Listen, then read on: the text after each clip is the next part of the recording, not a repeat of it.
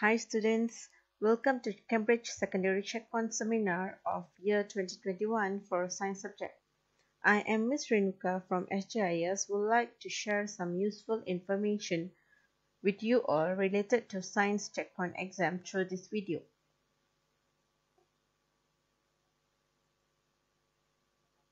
First and foremost, I would like to introduce the format and code of science checkpoint exam for this year.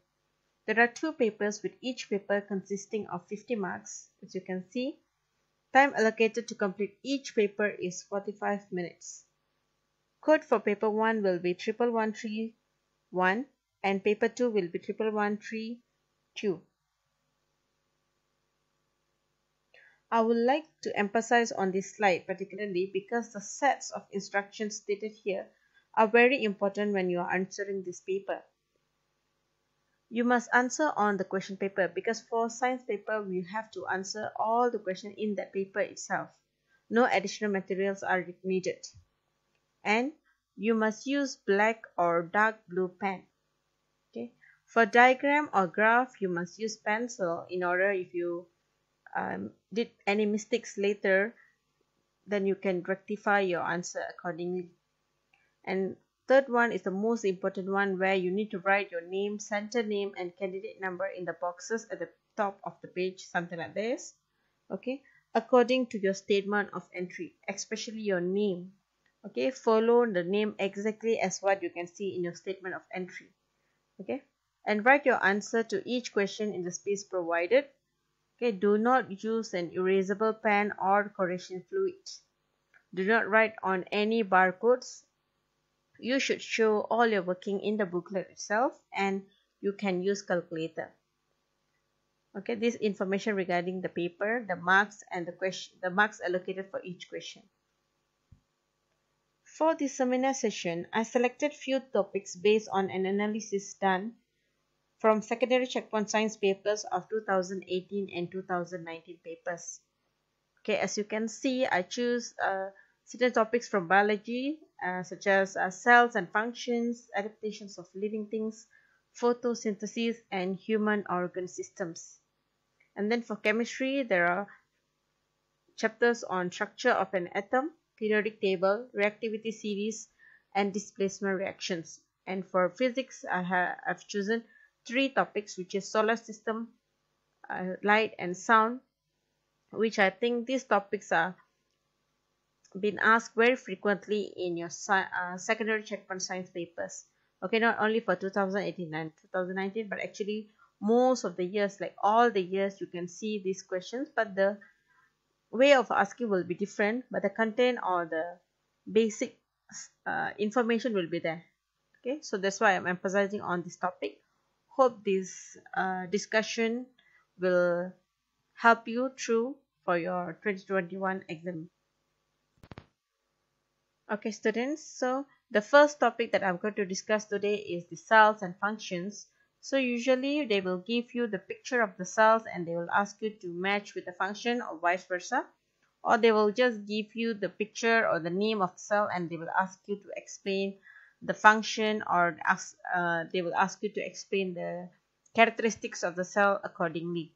So for this 2018 and 2019, let's see what kind of question or what um, the type of question they ask for these cells and functions okay?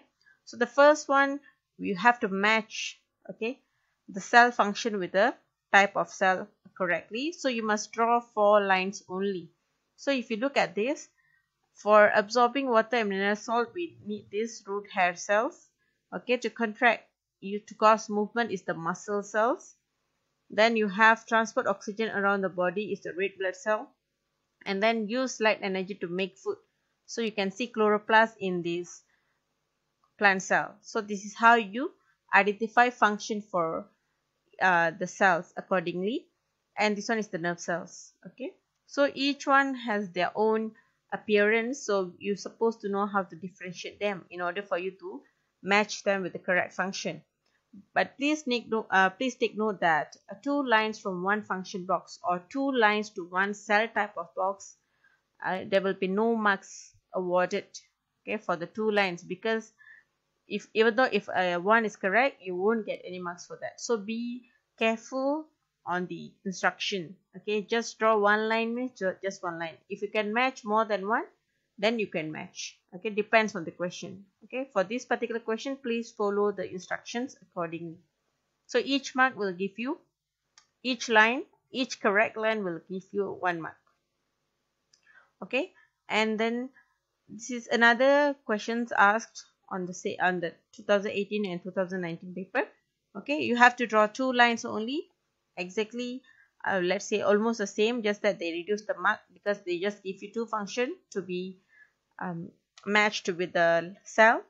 But this one particularly plant cell only. So absorb water and minerals from soil of course root hair cells you can see here. And then for transporting water and minerals xylem cells. Okay? Xylem tissue or through the stem you can see xylem.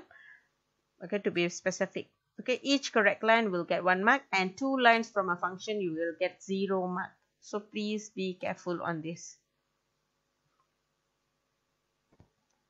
Okay students so the next topic will be adaptations of living things. Okay this is showing a mammal called philippine tarsier which live in a rainforest jumping from tree to tree and they rarely touch the ground. They sleep during the day and hunt for insects at, at night. So this is the picture of the tarsier you need to use the drawing to suggest three ways the tarsiers are adapted to their habitat. So must use drawing means you must see the physical features okay? The features you're choosing must be visible in the diagram okay? And not just mentioning that this particular tarsier having eyes but you must mention what type of eyes they have to to be specific put the adjective put the correct adjective that describe the adaptation okay let's say like large eyes or wide eyes. Okay large ears or long fingers. And it must be continue or it must be uh, together with the explanation. Okay this is the way of uh, doing adaptation questions. Usually you give the features followed up with the the explanation. Okay why they need the large eyes to gather maximum of light okay why they need the forward facing eyes for them to get the 3d vision so that they can actually estimate the distance accurately? Okay why they need uh large ears okay to have sensitive hearing? Okay things like that. You have to mention the adaptation the feature physical features something that's visible. Even though they're not giving you a picture you should give something visible features most of the time but sometimes it can be on their um, behavior also. But depend but this one already specifically this question they already say use the diagram. So please use the diagram in order to give you some marks okay? And please explain the reason why you're supposed to have these features. And then the continuation of this question will be on the ways to actually increase the number of these tarsiers in the wild like more on preservation and conservation. So you can give a related answer that how you can actually uh, save this endangered species okay? If all both correct then you will get two marks. Okay you can see over here list of answers that will be accepted such as like prevent poaching maintain the nature reserve so more on preservation and conservation. Okay guys so the next question will be on the black scabbard fish from the atlantic ocean okay this fish is adapted to live in a very deep water where there is a very little light. So describe how this fish is adapted to live where there is a very little light. Since they already say the condition that they need to adapt in a very little light so you just need to give the characteristic that's suitable or that they are adapted to to just adjust themselves in a very little light. So the answer just you just say that large eyes or big eyes you will straight away get one mark but ignore has night vision because this is not suitable as an answer for how come they can uh, adapt to the very little light. So you ignore this answer. Okay? I, as long as you say large eyes or big eyes can be accepted. Then follow up the next question. The black scabbard fish is a fast moving predator. Suggest how the color of the fish helped to make it a successful predator. So since they are living in a very uh, deep water where this is very limited light available, so consider black color. So they can hunt without being seen, okay, cannot be seen by prey because it's too dark and their color is also dark. So they will adapt to the surroundings, okay, more on camouflage or blend with the surroundings, difficult to be seen. okay so you can mention their color and how they are uh, help to become a successful predator okay and two other adaptations that suggest that fish is a fast moving predator this fish okay? So you can say on large powerful jaw large teeth or sharp teeth or muscular body or streamlined body or long and thin body to help them swim through the water easily okay things like that. But ignore reference to tail okay? You can mention about fin but not the tail. You can also say on uh, large mouth or you can also say about long and narrow or long and slim body like that. Okay? So the uh, the answers are very vast um, we can say a lot of options you can write but please choose the one most visible and most accurate for the question okay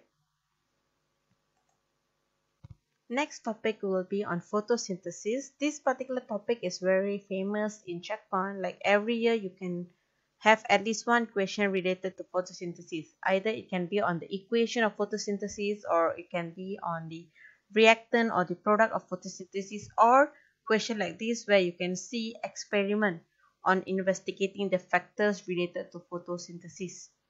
So this is one way of asking questions related to photosynthesis. Now, uh, now you can see Oliver investigate the effect of light on photosynthesis and he's given uh, the apparatus as shown. Write down two variables which Oliver needs to control during his investigation. So before we moving on to the answer part, okay let me just recall on the variables we have three types of variable which is the manipulated variable or variable that you changed or we have responding variables or the variable that you measure and finally we have constant variable or the variable that you keep the same or you control throughout the experiment so for this particular question you must write at least two variables that you need to control or you must keep the same throughout the investigation Usually variable that you kept constant or kept the same or control will be a lot of option to write. Okay, usually it will be a lot like manipulator you can only write one. Responding you can you can only write one. But the constant variable usually you have a lot to write. But try to choose the best one, the most related one, the one very, significant for the experiment that you must keep control in order to avoid uh, from getting any uh, in, uh, inaccurate data. Okay, try to choose the best answer. Even though you have a lot of option to write for a constant variable, try to choose the best answer that most related or most important to be kept the same in order for you to get the correct answer.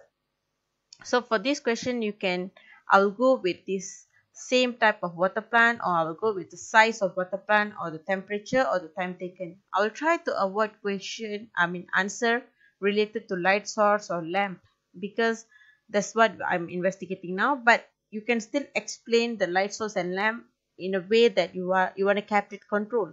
But just to avoid any mistakes or any any penalization of marks, I will just try to avoid any answer related to light since I'm investigating the effect of light on photosynthesis. I'll focus on the other factors that I supposed to keep the same, such as the carbon dioxide or the water or the light, in, I mean the environment, light intensity of the environment or the plant that I'm, that I'm using, the type or the size, things like that. So try to choose the best answer for the control.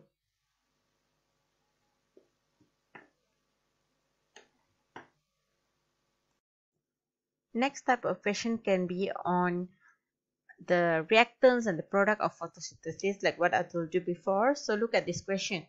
Plants are able to use light energy to make their own food. Name one substance that, that plants use to make their own food by this process. Substance that plant use meaning they it is referring to the reactant of photosynthesis. So for reactant as an answer we have two the main one which is the car water or carbon dioxide or you also can write chlorophyll. Because chlorophyll is the green pigment that can uh, that actually absorb the sunlight to do photosynthesis.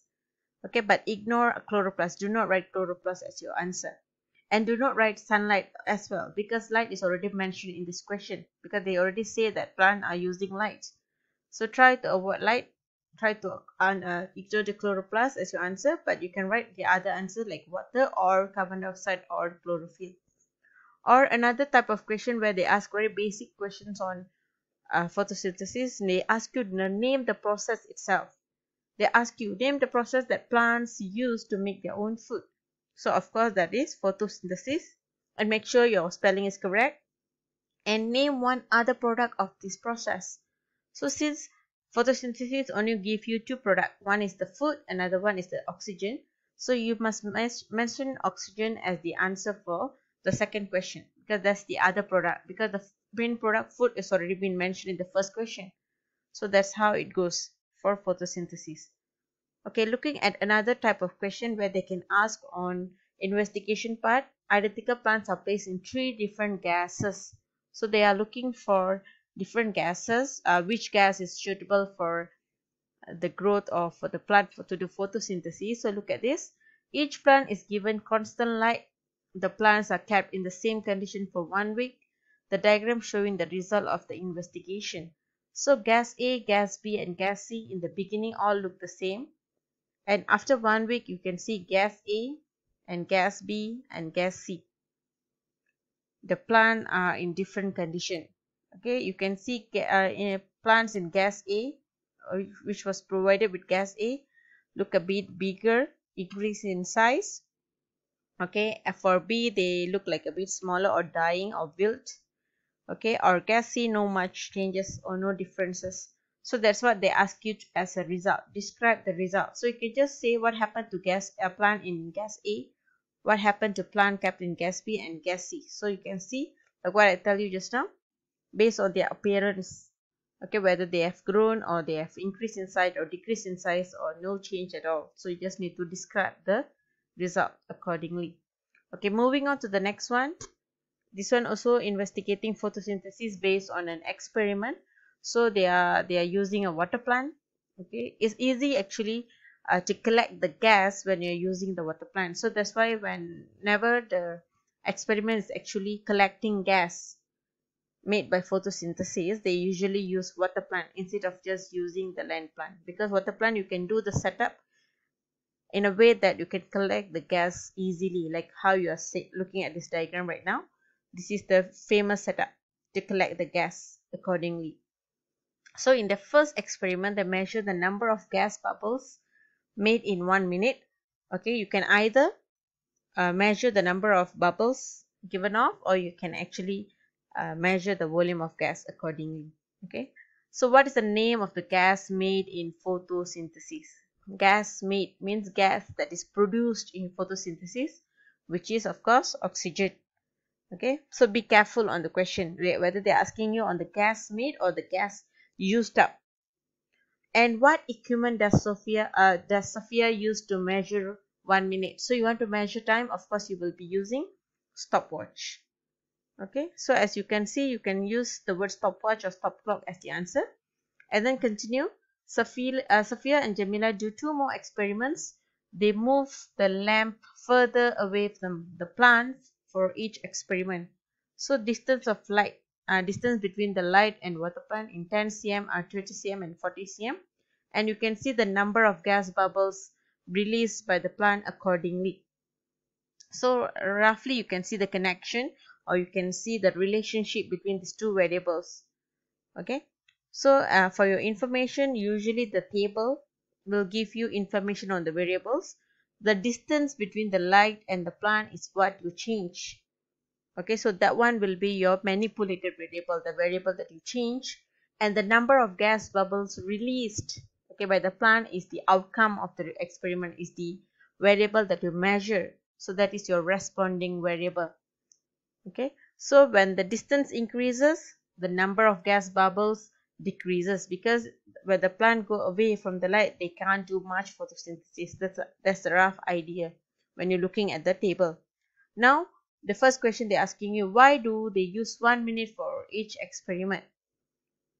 Okay? Because you must control the variable. You must use the same timing right? All right? So that's your reason why you must fix the timing for the experiment also um, so you can just say it is a control variable or you can just say to make a fair test or to allow a comparison. So a variable that does not change can be accepted. You must make the time as your fixed or the control variable.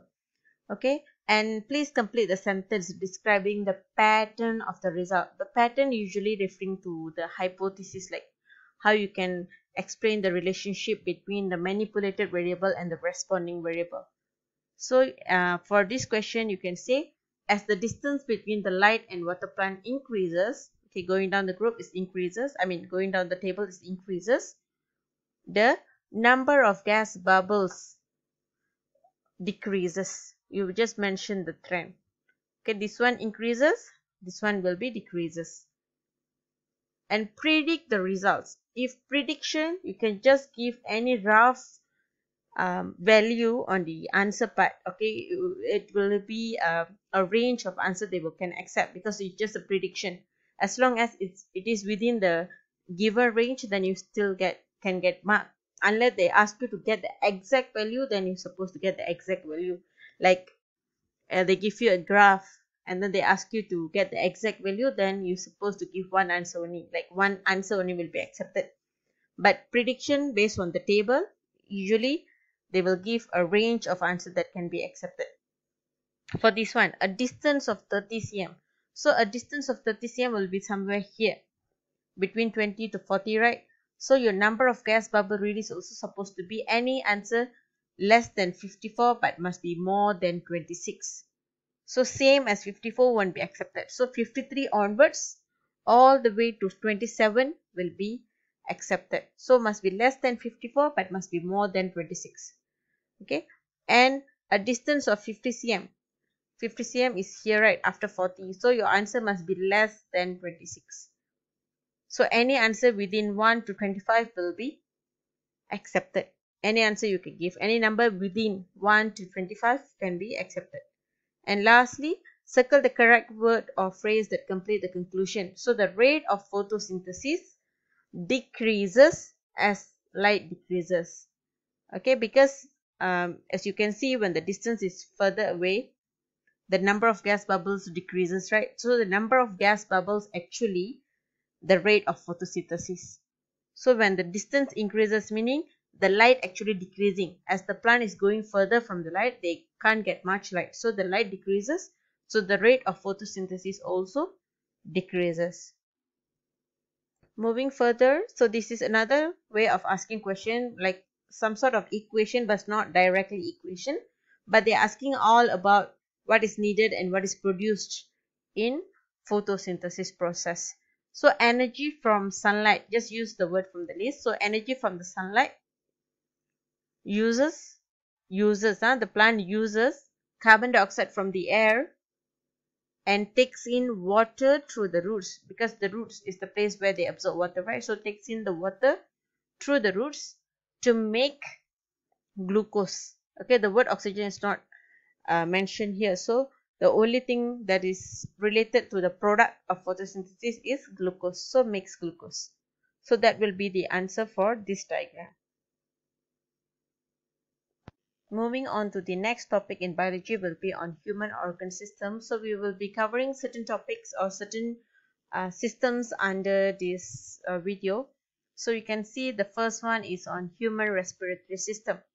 So this one is just labeling the respiratory system, the main parts. So the first one will be A. The A is trachea, okay, followed by these two branches or we call this as bronchus followed by actually bronchiole. The smaller branches are known as bronchioles. And at the end, we have a lot of alveolus. Okay, alveolus is the main part or main place where these gases exchange happen. Okay, and then we have C. The structure C is called as diaphragm. Okay, this one is for human respiratory system. Moving on to the next type of question where we have on the circulatory system the human heart being shown in this diagram but the question can be related little bit on the respiratory system as well not directly but indirectly this is also in related to uh, respiratory system. So if you can look at the first question complete the table about the composition of the blood that going to the lungs. Okay? The blood that going to the lungs will be the deoxygenated blood because at lungs is the place where gases exchange happen right? The carbon dioxide will be moving out of the body and then oxygen will be coming in. So the blood that coming from the lung will be oxygenated and the blood which is going towards the lung will be deoxygenated. So so that in the lung we can oxygenate the blood actually. Okay? So that's the idea. So you have to uh, tick two boxes that describe the correct composition of this blood. So looking at the concentration of carbon dioxide this is deoxygenated blood. So they're supposed to have high concentration of carbon dioxide and less concentration or low concentration of oxygen if both answer is correct then only you will get one mark. Okay please take note. And the second one the blood vessel labeled X on the diagram you can see the one carry blood away from the heart. Okay what name is given to this type of blood vessel? So they're not asking you to name specifically the name of the blood vessel they just ask you to state the type. Okay since we have three types we have artery veins and capillary. The one carry blood away from the heart will be the artery so x will be artery and the blood vessel labeled X uh, as a very thick walls. Okay, explain why this is necessary.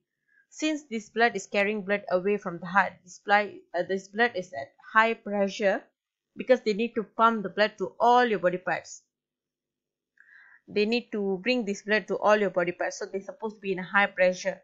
So to withstand that pressure, okay, so that this this blood vessel are not burst, okay, uh, so that they can uh, they are not ruptured. So they suppose have this thick wall. So please give the uh, most related reason why the uh, blood vessel supposed to have a very thick wall.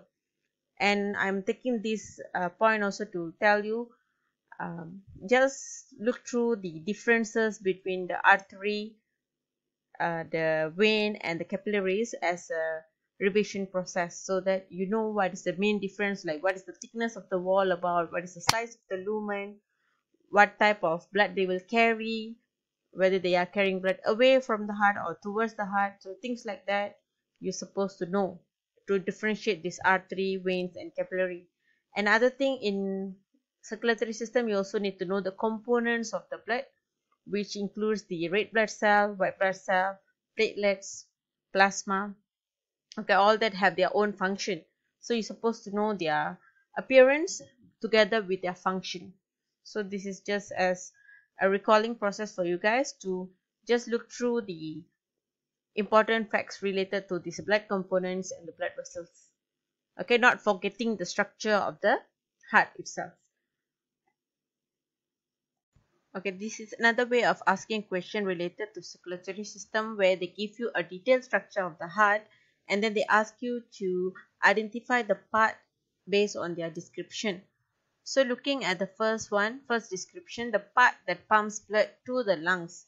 Okay, the part that pumps blood towards the lung will be on your right hand side, specifically the right ventricle.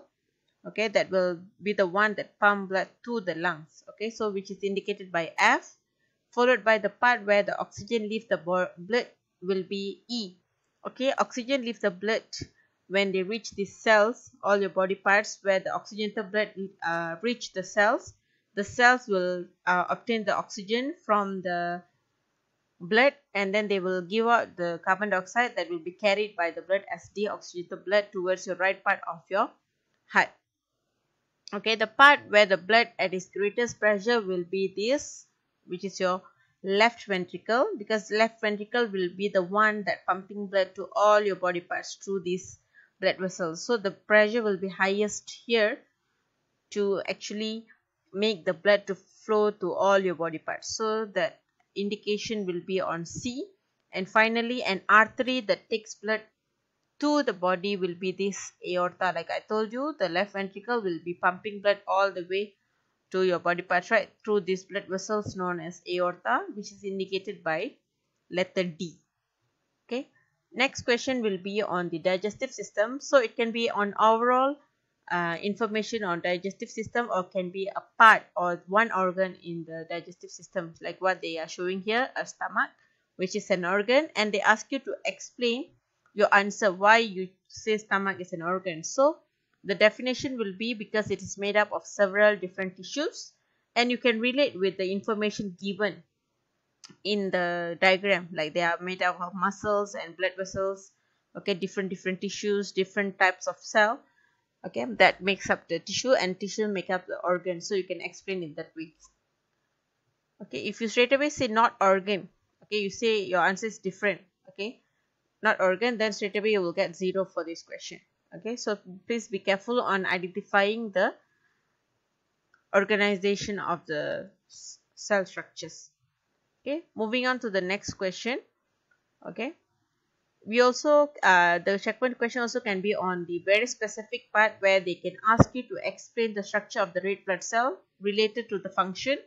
Like you have to explain about their structure whether they are carrying uh, contains hemoglobin for what.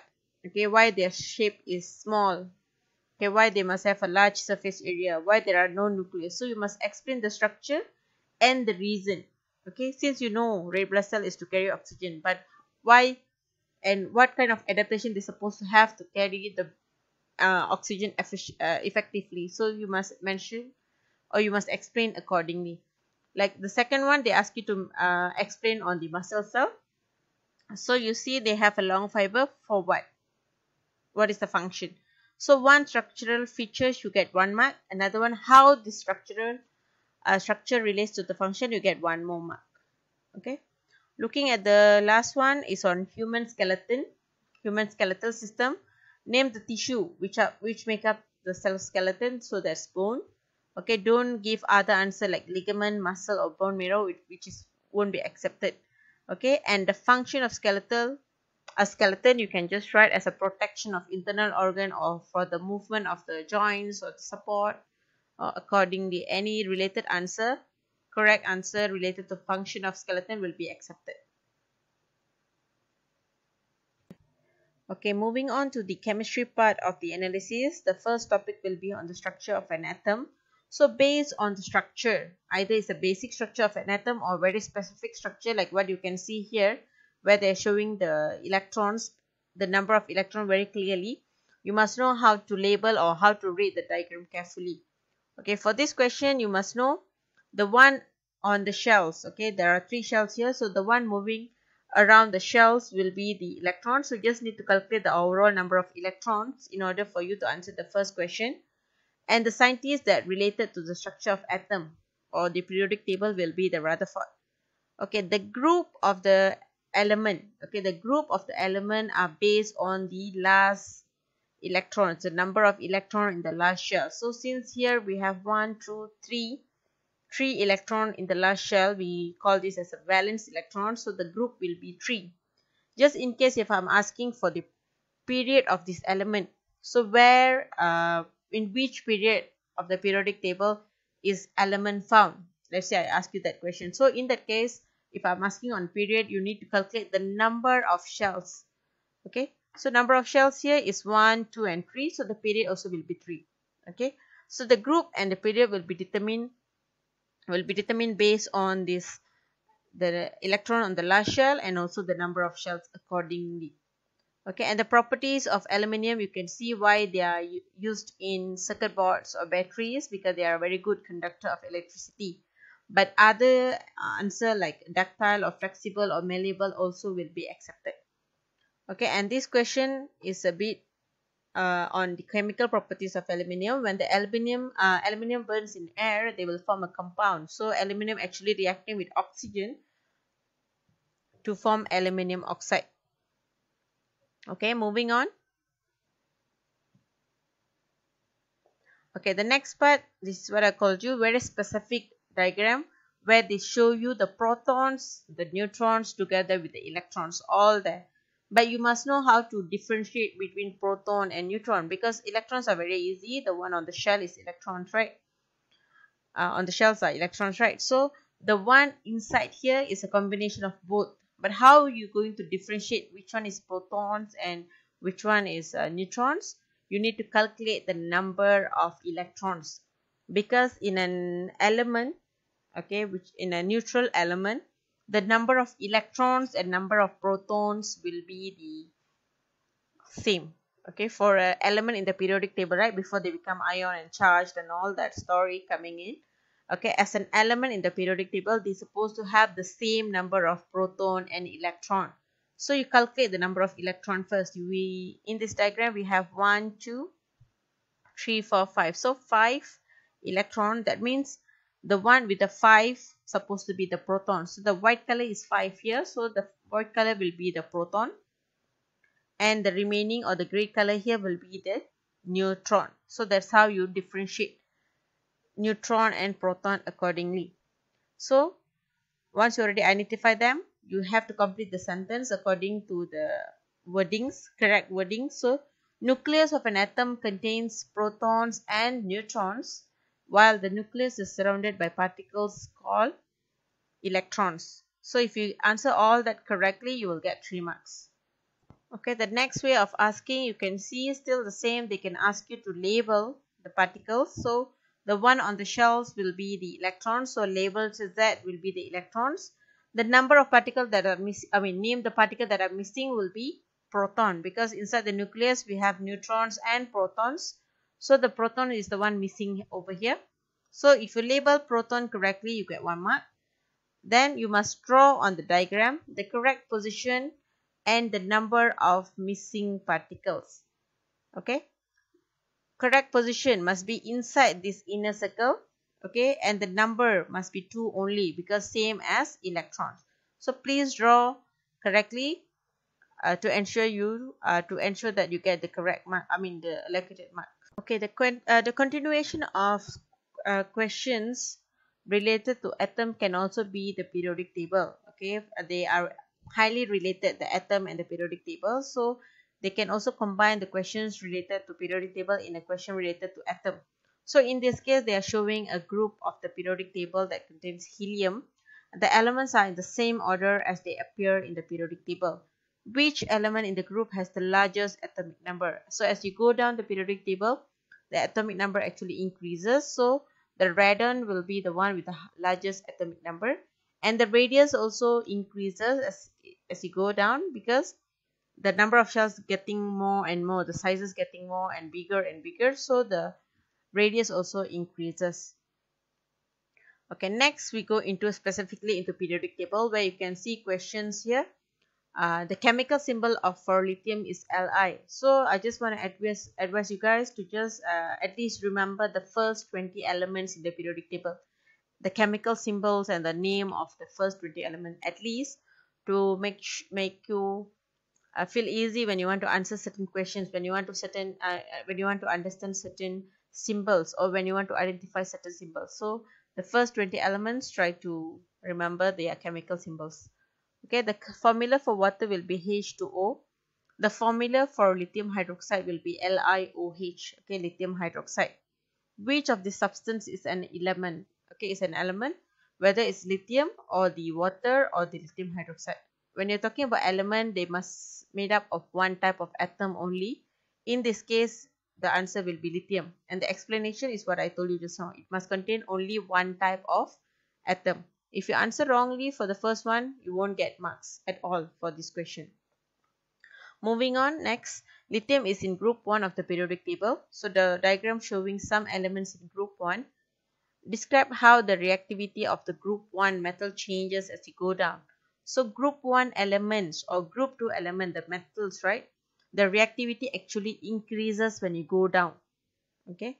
This is highly related for the um, position of the valence electron from the nucleus is very fast so make them very reactive. So you just need to remember like roughly uh, group 1 and group 2 their reactivity increases as it as, as you go down the group.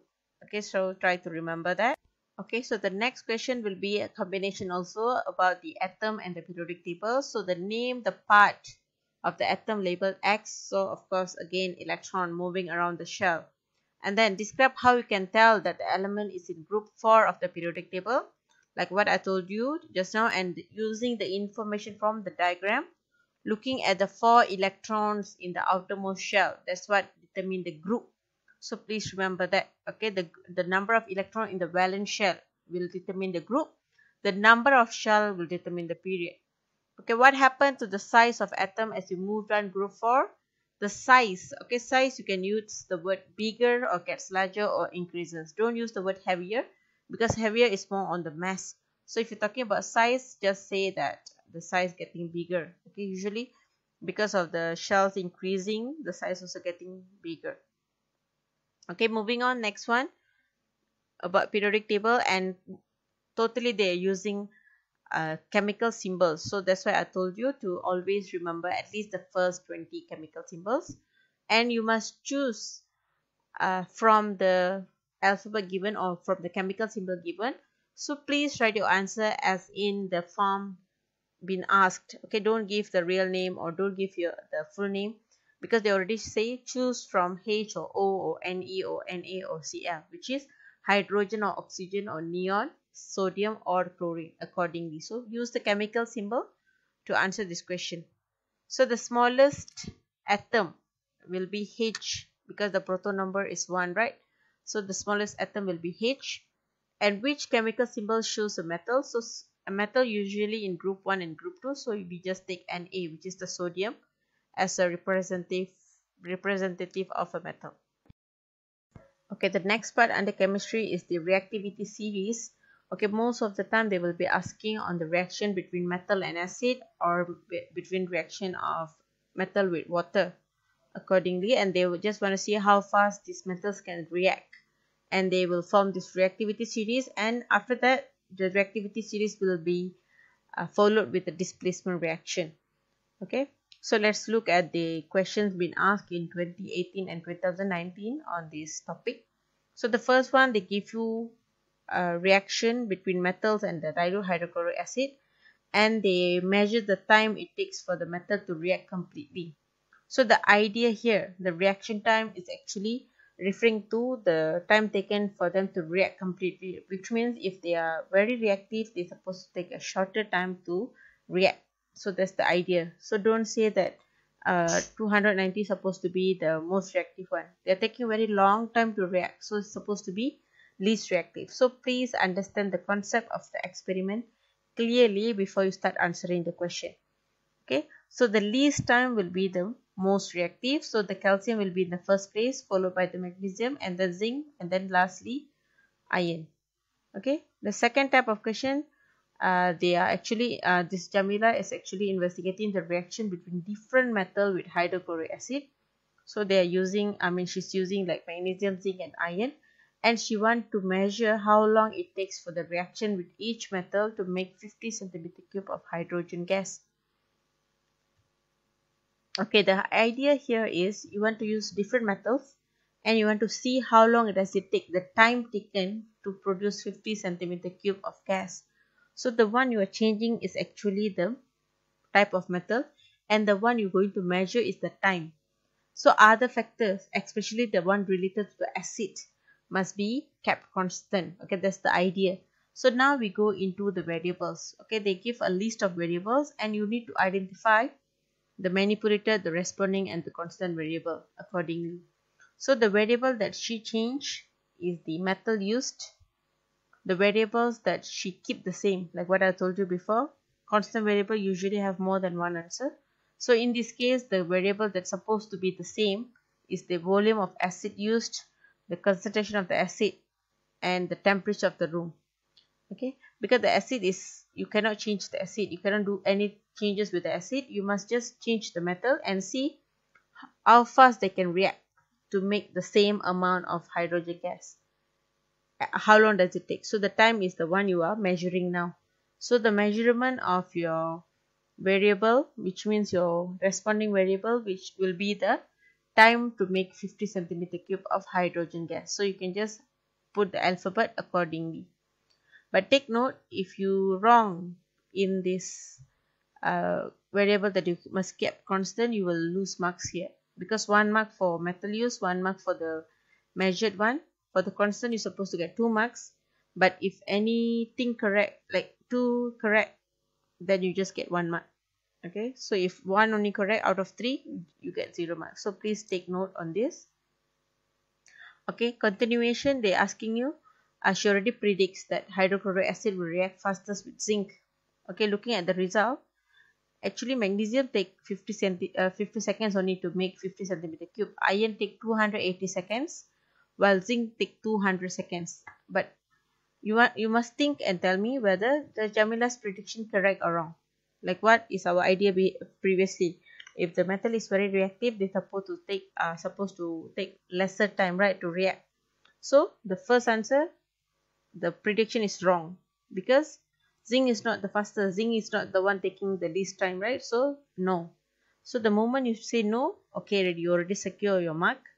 Then you move on to the explanation. So you can just compare the time and the rate accordingly. So zinc does not take the shortest time to make 50 centimeter cube of gas or magnesium taking the uh, shortest time to make 50 centimeter cube of gas. Or you just say after that you just compare. Magnesium is the fastest and or in other word you can say zinc zinc is slower than magnesium like that. Or you also can say magnesium is more reactive than zinc. Okay?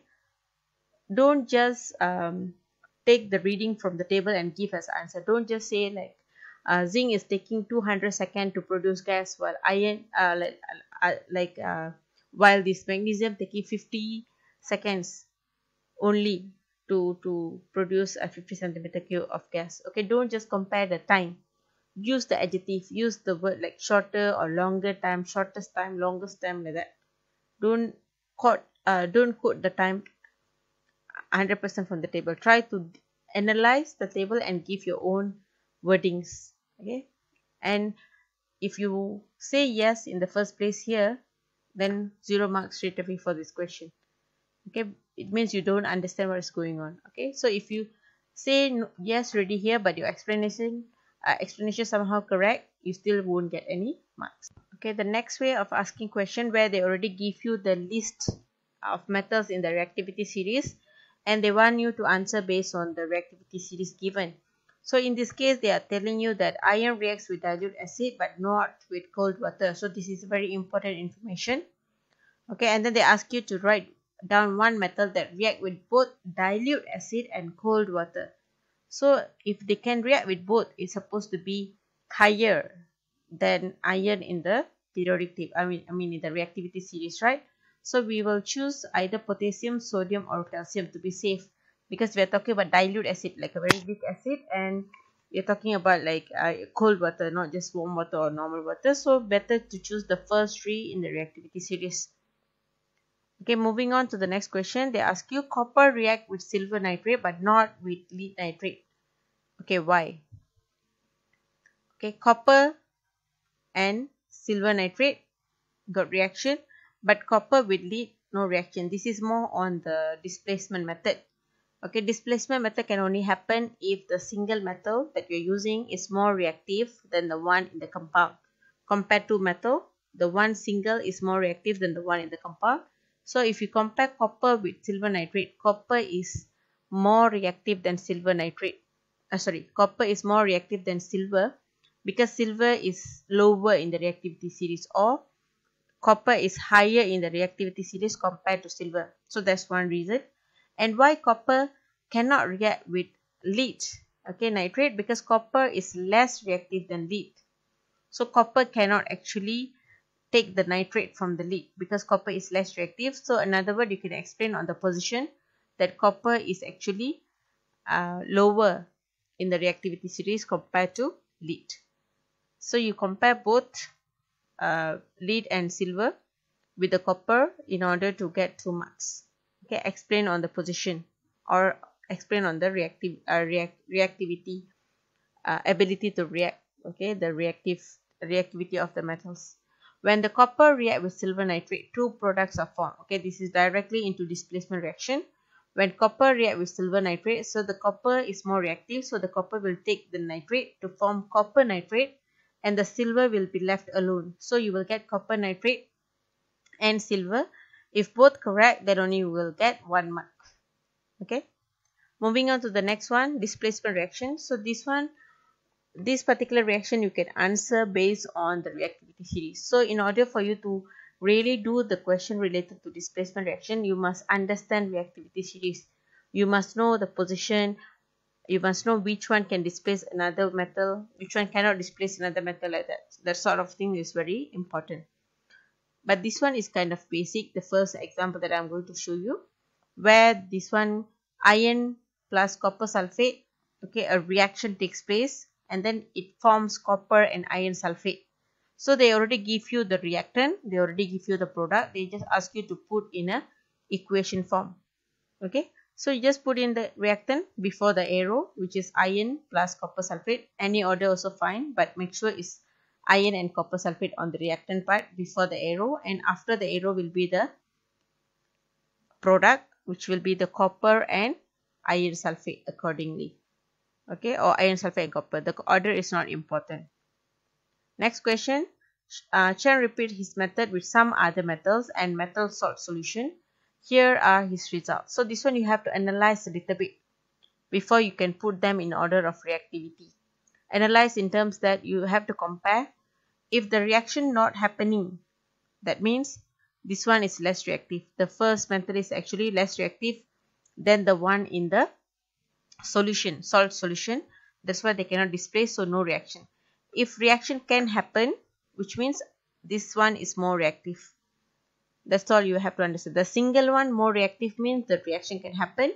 If the single one is less reactive the reaction will not happen. So try to understand this concept. Then from there you can actually put them in order.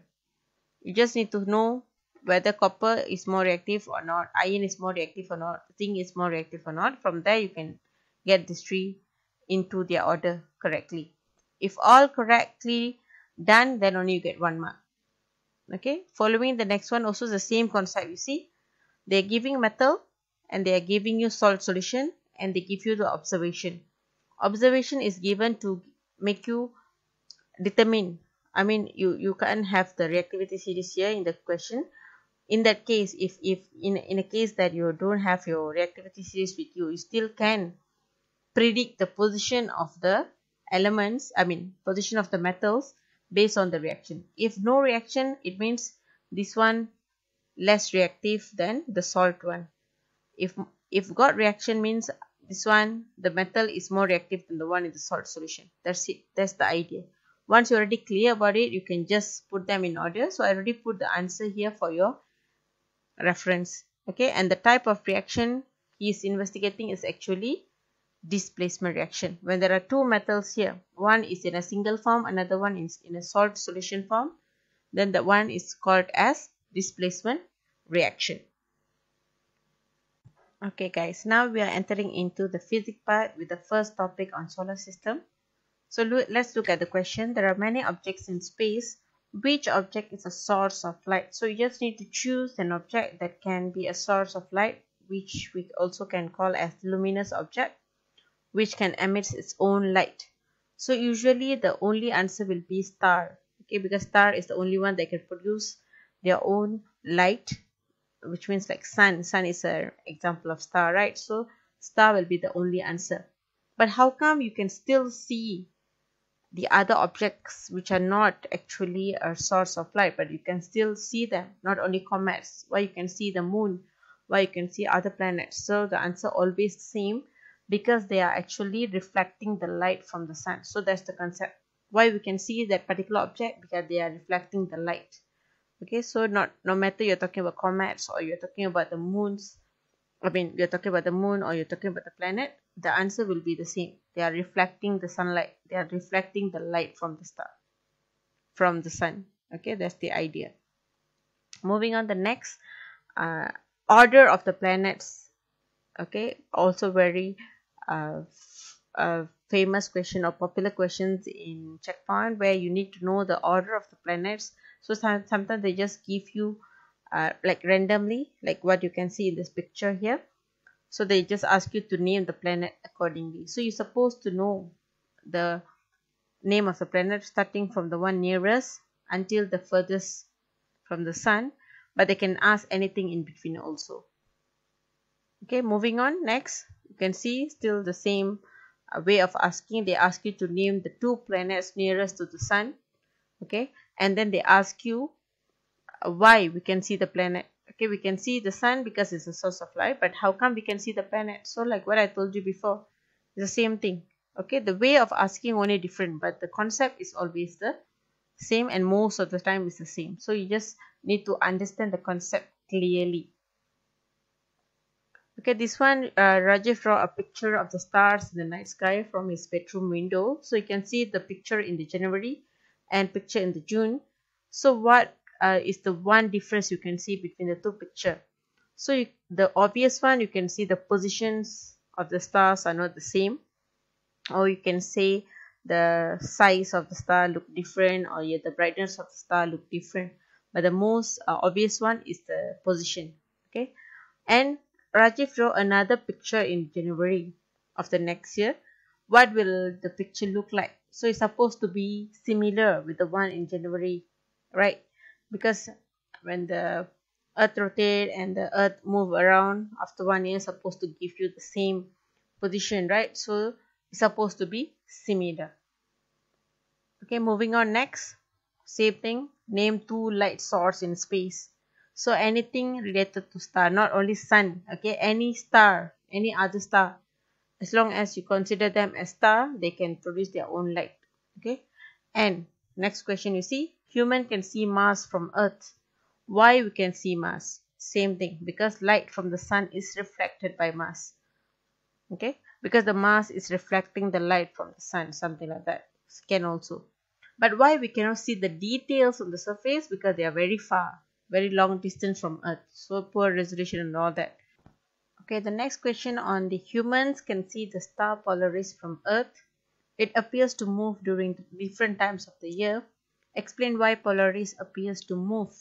Okay so the reason why the polaris the star appear like moving okay or we can see like the sun position is different okay but actually not the sun is the one moving but it's actually the reason is the earth is the one moving or the earth is rotating or the earth is orbiting that's the reason why we can see the stars moving. But actually the real movement is actually happening in the earth. Okay actually got two types of uh, two types of movement. Either the earth is rotating on its axis and the earth is also orbiting around the sun. Okay? But most of the time you just say the earth is rotating is already correct. Because you can see the different position of the sun or different position of the star or you see the star like moving all because of earth moving moving on they also can asking you uh, they can ask you a question like a, uh, in a quiz form where they just ask you to state the name of the inner planet name of the most distant planet or uh, name of the object that all the planets in our solar system orbiting. So I've included the answer here for your reference. Okay, and looking at this question, you can see the camera, uh, a camera normally lets light into it for a second and this camera, the camera that took this photograph let the light into it for 30 minutes.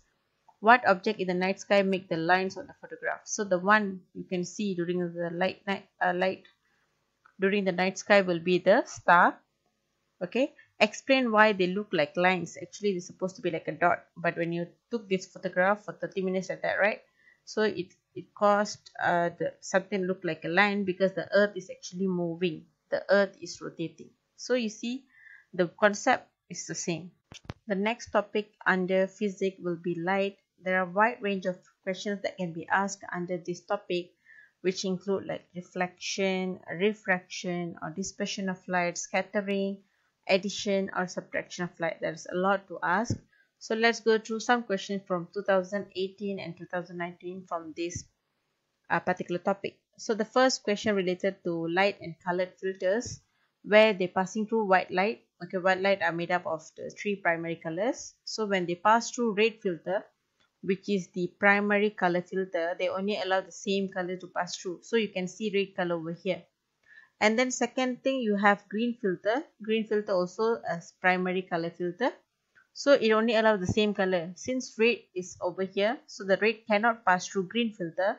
In that case you will get no light or you can just write black or no color still accepted. Okay?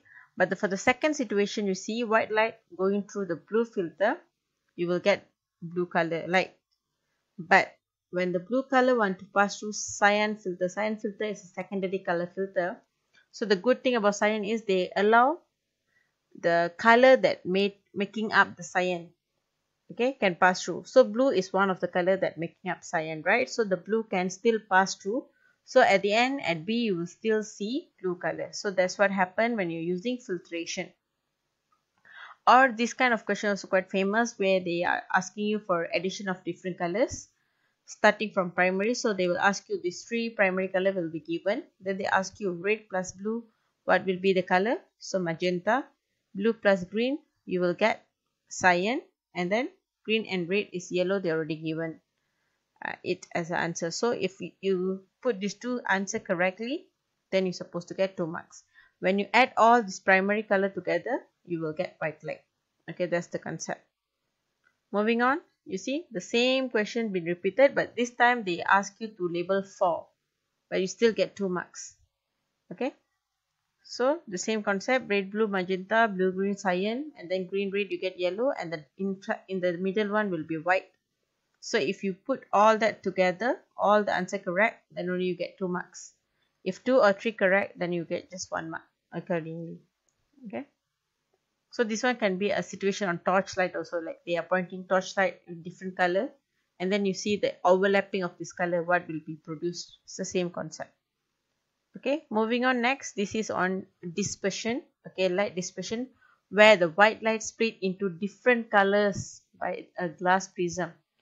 Okay, the concept behind the dispersion of light is actually refraction. When the light passing through different density, they get refracted okay but the name of the phenomenon is dispersion okay don't write refraction because refraction is the reason why you get the seven color because the light is passing through different density so they get bent in a different angle because they are in a different wavelength. But the phenomena name of splitting one white light into seven colors is called as dispersion. And you're supposed to know the seven colors in order as you can see here. You have to put them in order. If all correct three correct in order then you will you will get two marks. Following one uh, this is the reflection of light. I think this is the most simple one where you can just label the incident ray the reflected ray the angle of incidence and the angle of reflection and then we have one line in the middle we call that as normal and the line and the light get reflected on the mirror. So this one we have the law of reflection but most of the time they just ask you to label this uh, diagram accordingly. Okay if all five been uh, labeled correctly then only you will get three marks okay so please be careful on this especially when you want to name the angle don't just write as incident ray uh, sorry don't just write as incident angle okay for angle you're supposed to write angle of incidence for the ray, you write as incident ray. So there is a difference there. Please be vigilant when you are doing this. Okay, don't write reflected angle or reflection angle. It's the angle of reflection. Okay, follow the words given. Okay, this one also same like just now. There is a filter. So white light made up of the three primary colors. Okay, passing through the red filter. So only red color light can pass through. So here in this area we'll have red but the red color want to pass through green color cannot uh, green filter cannot so you will see nothing on the screen so you say no color black or nothing can be accepted and explain your answer. So like what i explained you verbally just now you just say red filter only allow red light to pass through. Okay? Or in another word you can say red filter absorb all other light except for red. And same goes to green filter. So green filter absorb all other colors so the green filter also absorb the red color. So i mean the red light. That's why they cannot pass through. Things like that you need to explain in order to show why there is no nothing form on the screen. Okay moving on. This is also reflection but on the two different surfaces where you have rough surface and smooth surface. So this one more on the law of reflection. You can see the angle of reflection equal to the angle of incidence. Okay they put here you can accept incident but i will highly uh, encourage you or uh, highly um, appreciate if you can just put incidence just practice the correct wording okay? So the reflection on the rough and smooth surfaces are different. Write down one differences. You just say what you can see in terms of the difference about the ray.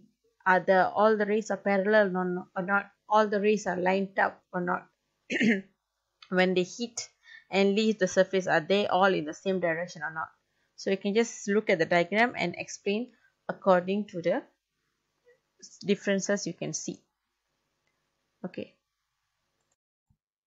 Okay moving on to the last part of our seminar which is on topic sound. Okay the most important or most um, uh, important facts that you know uh, you need to know about this topic is that the connection between the amplitude and the loudness and between the frequency and the pitch okay the question will be um, varies but the concept at the end of the day they will always relate this. Okay if you're increasing the amplitude you're actually increasing the loudness. And if you're increasing the frequency you are actually increasing the pitch. So that's the connection you know and vice versa. Okay so looking at the question okay in 2018 and 2019 okay let's see. Sound with a higher pitch than a. So a is your controller here. You can see the pitch is based on the frequency right? So here you can see how many frequency in a just two. You can see one and two two vibrations so two uh, the the frequency is 2 let's say. And then you must choose something more than 2 so the only answer here is 3 E right? Because got more frequency. Okay? Larger volume or louder than A so you're supposed to go for high higher amplitude than A. So the answer will be B higher amplitude than A A will be B.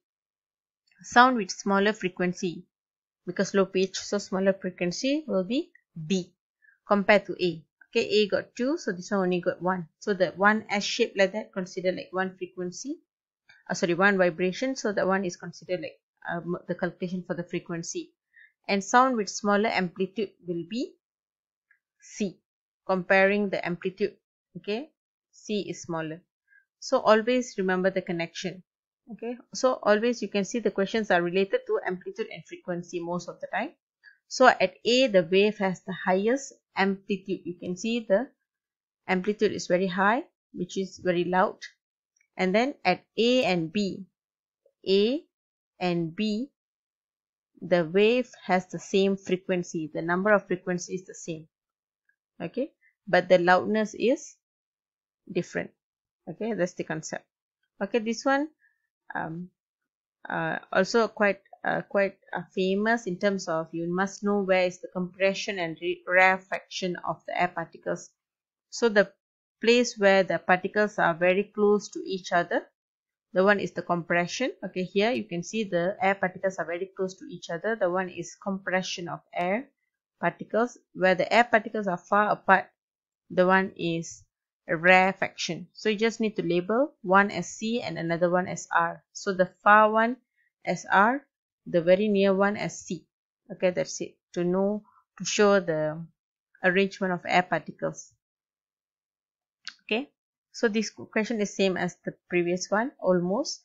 So the dots on the diagram are air particles. So in the area A, okay, this area, the doors are very close together. So this, this area is called as compression. In area B, you see the doors are far apart. So this area is called a rarefaction. Moving on to the last question in the seminar. Okay, uh, look at these different sound traces with an oscilloscope. You can see the sound is moving from A to B, right? What is happening? You need to describe in terms of the pitch, frequency, the volume, and the amplitude. So the frequency, you can see the number of vibrations are actually decreasing, which means the pitch is decreasing. Same goes the frequency because these two are related. And if you look at the volume which means the amplitude is actually the same. Okay the amplitude the height of that peak is the same. The amplitude is the same which means the volume also the same. Okay stays the same. So for this particular topic for sound is it will be very helpful if you can uh, really understand or really can connect the um, the, uh, the connection. You can see the connection between the amplitude and the loudness the frequency with the pitch. That's it. So the question will be mostly related in between that only. Okay? Okay, we are at the end of our seminar for today on Checkpoint Science exam. So hope this video will help you to cover most of the topics for your checkpoint exam and makes you, makes you understand better on the key points that you need to know for this particular topics. And last but not least, I would like to share this quote from Albert Einstein that never regard study as a duty but, but as an as the enviable opportunity to learn. So keep on learning. All the best for your exam. Thanks again.